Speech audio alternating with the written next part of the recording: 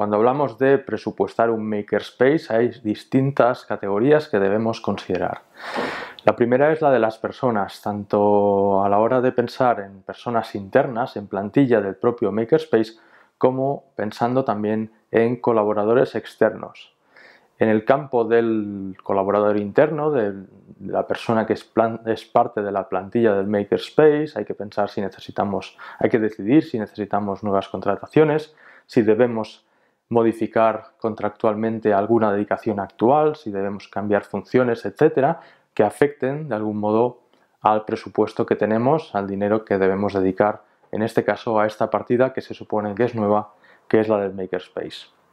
En fin, a la hora de pensar en ese tipo de gastos, no solamente tenemos en cuenta aspectos como los salarios, sino que también todos los gastos asociados que de hecho son comunes a cualquier colaborador interno que podamos tener. Bien, no podemos olvidar en este capítulo tampoco las necesidades que podamos tener en materia de formación para el personal interno de, de reciclaje profesional. Un segundo apartado dentro de la categoría de personas es el que comentaba antes de los colaboradores externos.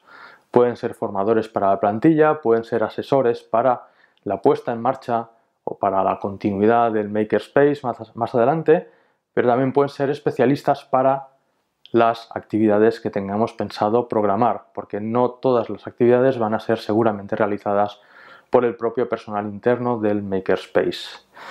Después de esto, estas serían las más típicas, pero quizá en nuestro caso necesitaremos algún perfil que yo no haya comentado y por supuesto deberíamos tenerlo en cuenta a la hora de eh, trabajar en nuestro presupuesto.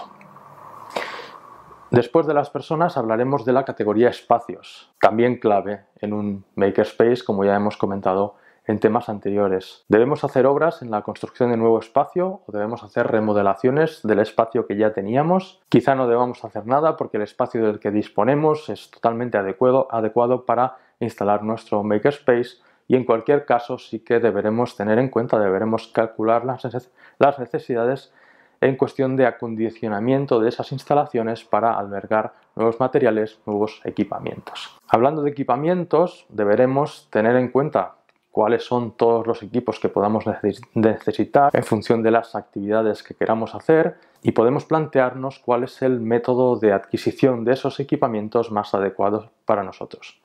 Por ejemplo, en el caso de equipamientos que vayamos a usar intensivamente, seguramente nos interesa comprarlos, pero puede darse el caso de necesitar equipamientos de una manera puntual o incluso tener equipamientos que puedan ser compartidos con otras instituciones. En cualquier caso, existe la opción de compra, existe la opción de alquiler y también la de cesión o de compra colaborativa. Una nueva categoría es la de mobiliario para instalar el equipamiento, para guardar consumibles, para trabajar, para toda la serie de actividades y necesidades que podamos tener en un makerspace.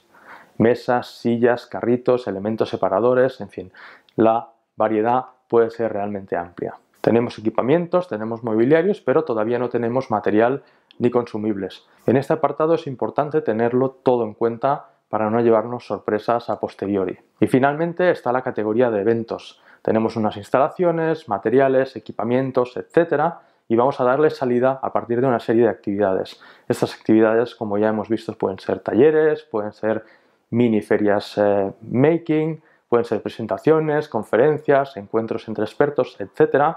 Y cada una de estas actividades, cada uno de este tipo de actividades puede conllevar unos gastos específicos diferentes de algún otro tipo de actividades. En cualquier caso, es otra de las partidas que debemos tener en cuenta a la hora de hacer nuestros cálculos. Para finalizar, tres elementos que debemos tener en cuenta al realizar cualquier tipo de presupuesto. El primero es que debe ser realista. Un presupuesto puede ser reducido o tender al infinito en función de la libertad que nos demos a nosotros mismos a la hora de planificar, a la hora de soñar.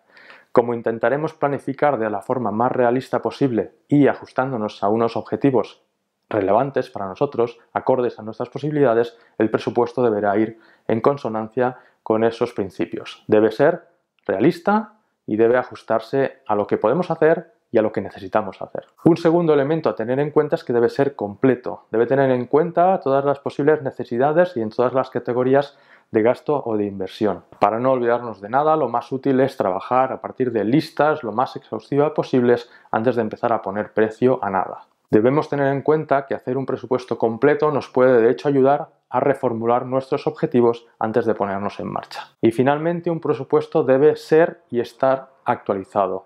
Debemos controlar su cumplimiento a lo largo del tiempo y debemos establecer periodos en el tiempo en los cuales revisar, evaluar, redefinir lo que sea necesario y por lo tanto adaptarnos a las necesidades de nuestro makerspace a lo largo del tiempo.